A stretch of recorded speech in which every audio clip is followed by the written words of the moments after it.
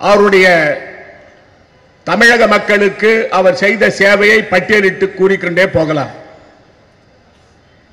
அவர் தாலிக்கு தங்கத்தில் இருந்து சமத்துவபுர சமத்துவபுரம் கண்டதில் இருந்து டாக்டர் கலைஞர் அவர்கள் குறிப்பாக விதவை திருமணத்தை நடத்தி வைத்ததில் இருந்து கலப்பு திருமணத்திற்கு உதவி செய்ததில் இருந்து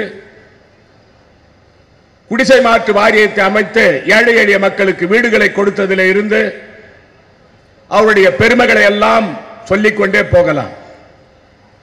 டாக்டர் கலைஞர் அவர்கள் முதலமைச்சராக இருந்த சமயத்திலே தான் ஏழை எளிய மக்கள் தாழ்த்தப்பட்டவர்கள் பிற்படுத்தப்பட்டவர்கள் மலைவாழ் மக்கள் சிறுபான்மை சமுதாயத்தின் அனைவரும் பாதுகாப்பாக வாழ்ந்த காலம்.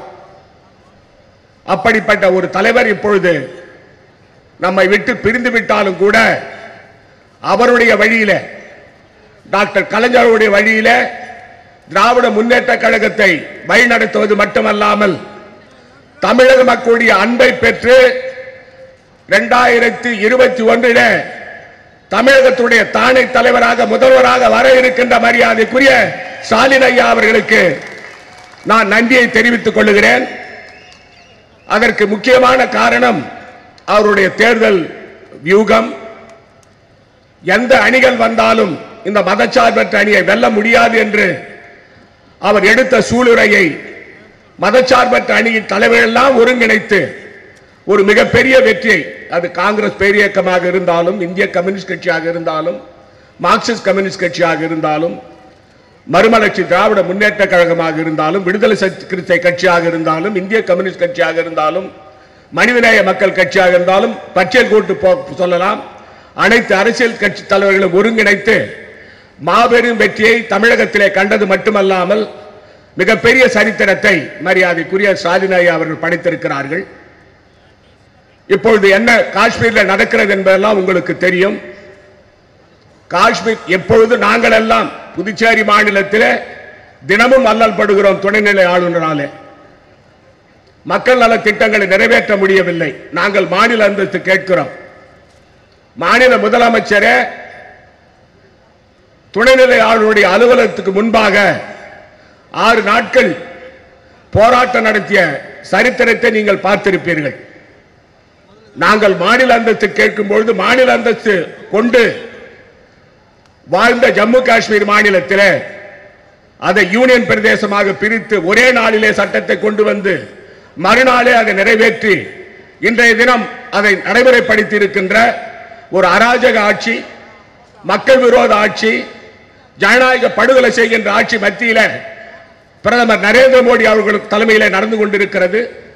இதை எதிர்த்து போராட வேண்டிய கடமை பொறுப்பு மதச்சார்பற்ற அணி தலைவர்கள் அனைவருக்கும் உண்டு என்பதை இந்த தருணத்திலே கூறிக்கொள்ளுகிறேன். எங்களுடைய மாநிலம் புதுச்சேரி மாநிலம் சிறிய மாநிலம். புதுச்சேரி மாநிலத்திற்கும் முத்தமிழ் டாக்டர் கலைஞர் அவர்களுக்கும் நெருங்கிய தொடர்பு உண்டு. அரசியல் கட்சி தலைவர்கள் அவரை தெருவோரத்தில் அவர் தேர்தல் பிரச்சாரத்துக்கு சென்ற பொழுது அடித்து அடித்து அவரை தரையிலே கிடந்த பொழுது நேரு வீதியிலே கிடந்த பொழுது ஒரு அம்மையார் அவரை காப்பாற்றினார்கள். அவர் முதலமைச்சராக வந்த உடனேயே அந்த அம்மையாரை அழைத்து அவரிடம் ஆசி பெற்றது மட்டுமல்லாமல் அவருடைய தன்னுடைய நன்றியை அந்த அம்மையாருக்கு தெரிவித்துக் கொண்டார். அது மட்டுமல்ல புதுச்சேரி மாநிலத்தில் திராவிட முன்னேற்ற கழக ஆட்சி அமைத்தது மட்டுமல்லாமல் காங்கிரஸ் திராவிட முன்னேற்ற கழக கூட்டணி ஆட்சி அமைப்பதற்கும் டாக்டர் கலைஞர் அவருடைய வியூகம் கலைஞர் அவருடைய யுக்தி எங்களுக்கு மிகப்பெரிய அளவிலே பயன்பட்டது. அது மட்டுமல்ல டாக்டர் கலைஞர் அவர்கள் நம்மை விட்டு பெருந்து விட்டார் என்று தெரிந்தவுடனேயே அன்றைய தினம் காலையிலேயே ஒன்பது மணிக்கு எங்களுடைய அமைச்சரவையை கூட்டி நானும் மாண்புமிகு அமைச்சர் பெருமக்களும் டாக்டர் கலைஞர் அவர்களுக்கு புதுச்சேரி மாநிலத்திலே வெண்கல சிலை வைப்போம் என்று நாங்கள் சூழலை எடுத்துக்கொண்டு அதை நடைமுறைப்படுத்த இருக்கிறோம். அது மட்டுமல்ல புது காரைக்கால் பகுதியில் டாக்டர் கலைஞர் அவர்கள் பெயராலே ஒரு மேல் படிப்பு பட்ட மைய மையத்தை மரியாதைக்குரிய மாண்புமிகு பாராளுமன்ற உறுப்பினர் ஐயா பாரதி அவர்கள் வந்து அந்த மையத்தை திறந்து வைத்து எங்களுக்கு பெருமை சேர்த்தார்கள். மரியாதைக்குரிய நம்முடைய தலைவருடைய ஆணை ஏற்று புதுச்சேரியிலும் காரைக்காலிலும் டாக்டர் கலைஞாவுடைய பெயரை போற்றுகின்ற வகையில் இரண்டு சாலைகளுக்கு நாங்கள் பெயர் வைத்திருக்கிறோம். அது மட்டுமல்லாமல் புதுச்சேரி மத்திய பல்கலைக்கழகத்திலே டாக்டர் கலைஞர் அவர்களுக்கு ஒரு நாற்காலி அந்த பல்கலைக்கழகத்திலே கொண்டு வரப்பட்டிருக்கிறது. ஆனால் எங்களை பார்த்து கூட தமிழகத்தில் இருக்கிற ஆட்சியாளர்கள் திருந்தவில்லை. தமிழகத்திற்காக தன் வாழ்நாள் முழுவதும் அர்ப்பணித்த ஒரு தலைவருக்கு அவர் உறங்குவதற்கு இடம் கொடுக்காத ஒரு ஆட்சி தமிழகத்தில் இருந்து வருகிறது. இதை உணர்ந்துதான் தமிழக மக்கள் புதுச்சேரி மாநில மக்கள் தங்கள் வாக்குகளை நமக்கெல்லாம் அள்ளி கொடுத்தார்கள். அதனுடைய எதிரொலி ஒரு முதலமைச்சர் என்றால் ஒரு ஆட்சியாளர் என்று சொன்னால் முதுகெலும்பு இருக்க வேண்டும். தன்மானம் இருக்க வேண்டும்.